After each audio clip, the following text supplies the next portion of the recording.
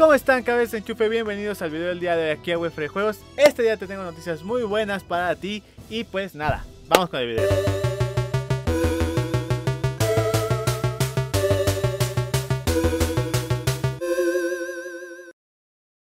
¿Cómo están cabezas enchufe, cabezas de nepe y miembros de la comunidad de YouTube en general? Bienvenidos, hoy les quiero pedir su ayuda, por favor, necesito su ayuda. Tengo una oportunidad muy grande que es conseguir un deal con Facebook Gaming. La verdad estoy muy emocionado. Voy a hacer mis pruebas y creo que lo puedo lograr, creo que puedo tener un buen deal y eso me ayudaría muchísimo. Como saben, tengo varios proyectos en mi vida ahorita, tengo el proyecto de Casarme con Maura, quizás queremos vivir en otro país, etc. Y la verdad, me ayudaría muchísimo tener este deal y aparte crearía contenido para ustedes muy, muy seguido. Pero como sé que también quieren algo a cambio, les voy a dar unos regalazos. Miren, los streams van a durar dos horas cada uno. Voy a hacer uno el jueves 22 y otro el viernes 23, ¿ok? Los dos van a ser de 7 a 9 de la noche para que estés pendiente y te puedas meter. Lo que vas a tener a cambio, aparte de hermosos comentarios en stream y aparte de que voy a estar jugando con Santi y puedes divertirte bastante, cada 10 minutos va a haber premios. Ya sea sortear 10 segundos de la familia Wefere, o sea, desde Wefere Juegos hasta Wefere News, o tarjetas de regalo de Google Play, Amazon, Xbox, PlayStation, copias de Minecraft y muchas otras cosas más. Recuerda,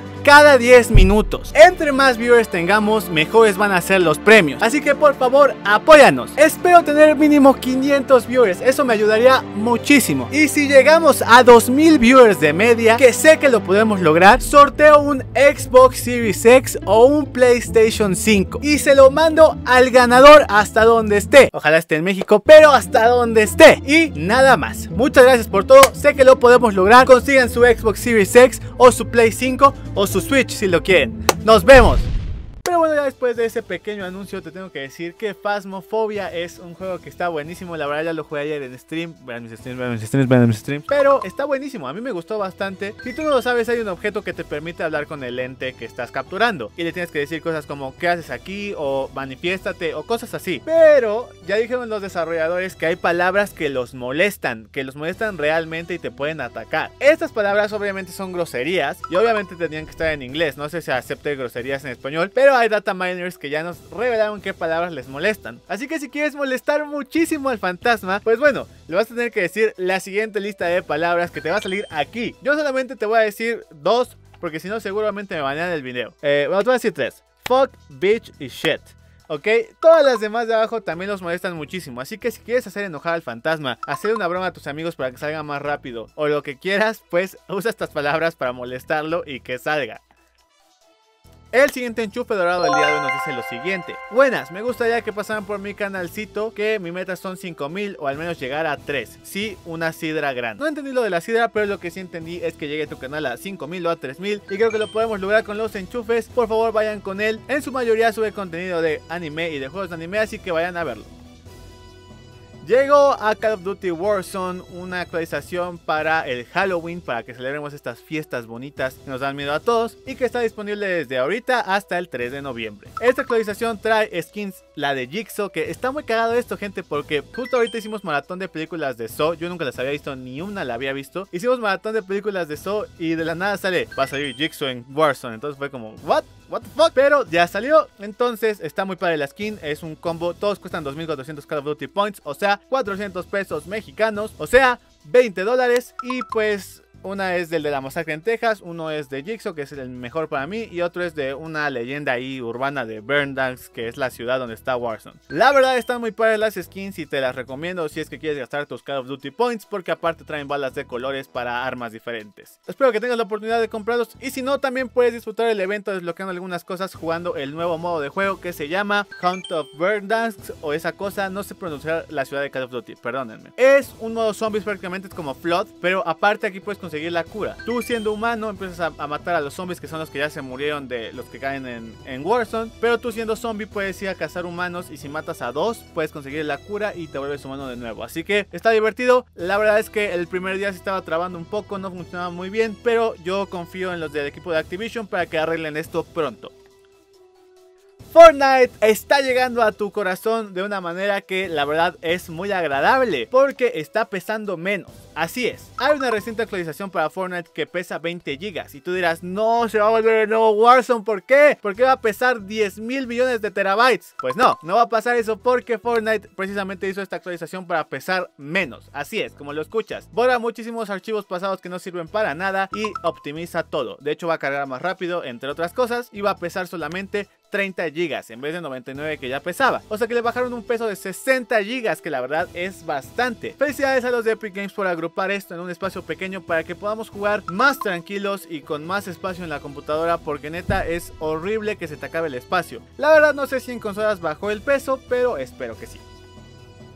Pero con esta ventaja vienen cosas horribles y esto es parte yo creo que de la actualización que tienen algunas cosas que resolver y es que te puedes volver invisible en el juego. Así es, literal, en partidas ya públicas te puedes volver invisible. ¿Cómo puedes hacer esto? Pues te voy a explicar. Primero que nada tienes que morir y entrar a un camión al mismo tiempo. Esto lo puedes lograr aventándote de una rampa y pues en el momento en el que caes te metes al camión. De esa manera, lo que va a tener que hacer tu amigo es poner una barrera para que no los maten, obviamente, y después cargarte hasta que te vuelvas invisible. Ya que estés invisible, que te reviva y de esa manera nadie, ni siquiera tu amigo te va a ver. O sea, literal solamente vas a estar tú normal. Pero tú vas a ver todo normalmente. O sea, tú vas a ver a tu muñeco, tú vas a ver todo. Solamente todas las personas no te van a ver. Literal, no te ven. O sea, hay un video de un tipo el que hace este truco y después va a matar un squad completo porque no lo ven y los mata con pico. Y luego lo matan porque pues un güey tira así da al aire y le da de cagada. Pero está muy cagado esto y está muy castrante. O sea, está las dos al mismo tiempo porque pues eres invisible. Esa es la ventaja. Y la desventaja es que eres invisible. O sea, es horrible esto. Pero pues, si lo quieres aprovechar, si te quieres dar una risita, si quieres hacerlo por los LOLs, pues hazlo. Una congresista debutó en Twitch apenas literal hace unos momentos y le fue increíble. Ella jugó a Among Us porque dijo que quería promover el voto jugando a Among Us porque es la mejor estrategia obviamente. Prácticamente quería llegar a otro público y a los jóvenes que son los que van a votar por ella realmente porque son los que ahorita están interesados en hacerlo y le funcionó. Tuvo más de 400 mil espectadores al mismo tiempo y ya tiene 493 mil followers. Cuando Ninja hizo como uno de los eventos más vistos que fue cuando estuvo con Drake tuvo 600 mil viewers. Ella tuvo 400 mil. O sea, es la tercera streamer con más viewers, o sea, en récord de Twitch de la historia. Y es una congresista de Estados Unidos, en específico de, de, Nueva York. Y está cagadísimo, está cagadísimo que solamente por hacer esto de jugar a Mongos, que es que está muy popular, y por tratar de promover el voto por ahí, y seguramente tiene cierta popularidad ya en, en Estados Unidos y en Nueva York en específico, por hacer esto está muy cagado que alcanzó el top 3. O sea, neta, aquí se ven los grados de fama, güey. O sea, te doy los grados de fama que si mañana, no sé, güey, una mamada lo que voy a decir, pero Messi y Cristiano hacen un stream juntos, va a tener 900 mil viewers y adiós Ninja y adiós todos los que siempre streamean. Pero, o sea, neta, está caro en los grados de fama que tienen. Si Will Smith hace stream igual, o sea, millones. Ustedes sabían que Will Smith es la persona más buscada de Google, o sea, bueno, una de las más buscadas. Mira, busca a Will Smith, busca cuántas búsquedas en Google tiene, luego busca cualquier otra persona que pienses que es más famosa que él y no le va a ganar. Así te, lo juro, te lo juro. Si, si es cierto esto, me donan estrellas en stream.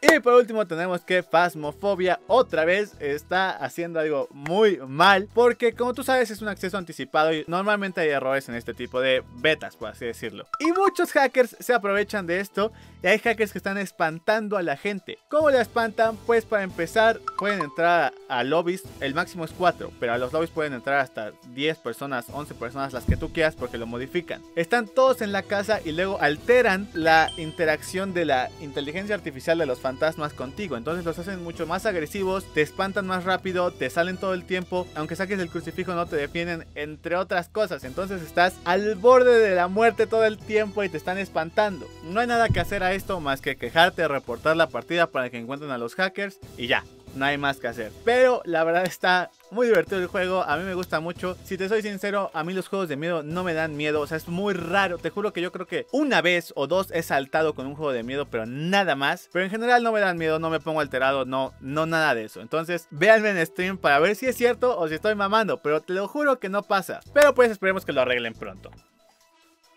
El que también quiere su ayuda es Far Reviews, que nos dice lo siguiente. Hola Durán, me encantaría que esta linda comunidad me ayudara a llegar a mi meta de los 1000 subs. Son mis segundos 10 segundos y gracias por el apoyo. Esto significa que los primeros te funcionaron o que no te funcionaron nada. Eso cuéntaselos a ellos y por favor vayan a ver al buen Far Reviews que hace reviews de películas en general y le quedan buenardos. Por favor vayan a apoyarlo. Pero nada, chufes, hasta aquí el video del día de hoy. Espero que les haya gustado y que se hayan entretenido, se hayan informado y por favor vayan a verme a mis streams. Hoy voy a estar jugando Among Us con todos ustedes y vamos a pasarnos muy bien por ahí por Facebook Gaming. Ya saben, de 7 a 9 de la noche. Nos vemos.